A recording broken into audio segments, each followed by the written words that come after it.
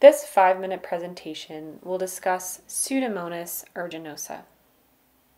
Specifically, we will go over the clinical scenarios that should prompt us to think about Pseudomonas and discuss the treatment options. Pseudomonas is a gram-negative aerobic bacilli that is found ubiquitously in the environment. It can cause a wide range of infections, but two important groups of patients that are commonly seen on the MTU include opportunistic infection in the immunocompromised host, and this can include things like osteomyelitis and otitis externa, and usually these patients have diabetes, and nosocomial infection or infection in hospitalized patients, and this can include things like pneumonia, urinary tract infections, and line infections.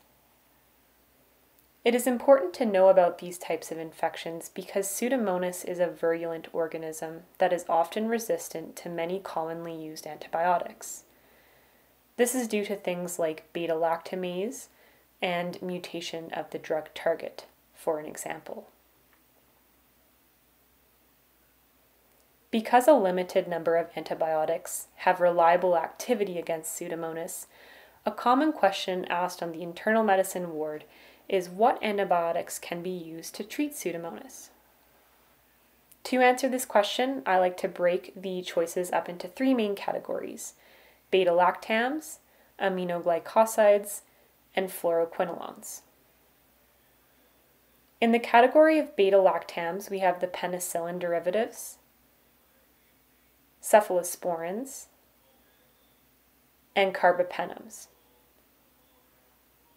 Penicillin derivatives include the well-known antibiotic Pip-Tazo. Cephalosporins include the third-generation cephalosporin ceftazidime. And carbapenems include meropenem, but importantly not ertapenem, and this is because ertapenem does not have activity against Pseudomonas. Under the category of aminoglycosides, we have gentamicin, tobramycin, and amikacin. And in the category of fluoroquinolones, we have ciprofloxacin and levofloxacin. And the fluoroquinolones are good oral options for patients that are either clinically well enough to tolerate oral therapy or patients that require long term suppressive therapy. And now, the reason I like to break the antibiotic choices specifically into these three main categories is because of this concept of double coverage. And double coverage means that you want to use two different antibiotics to cover Pseudomonas in certain situations.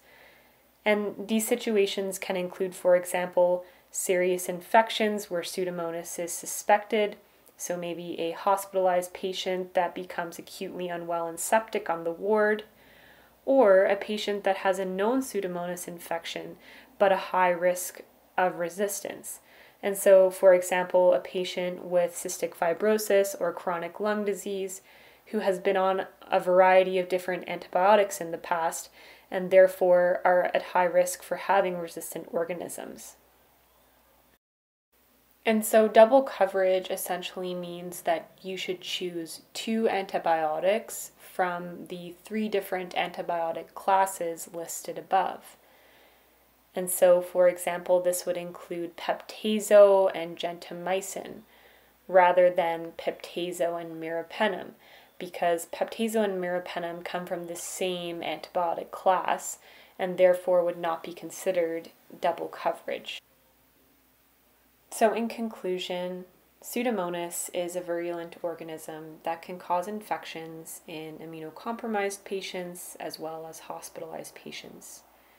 And it is important to know what antibiotics cover Pseudomonas and choose them carefully.